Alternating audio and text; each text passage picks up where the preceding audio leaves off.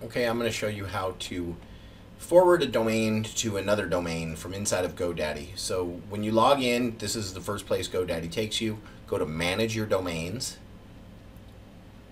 And as soon as you get there, you should see all your domains.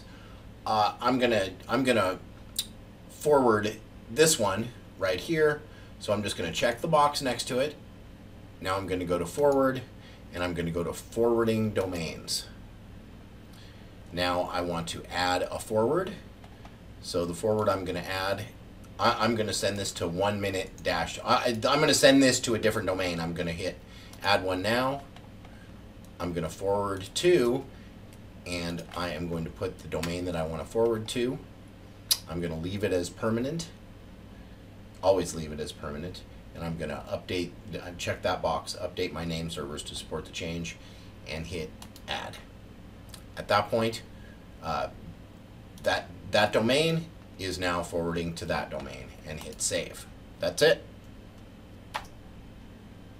Have an optimal day.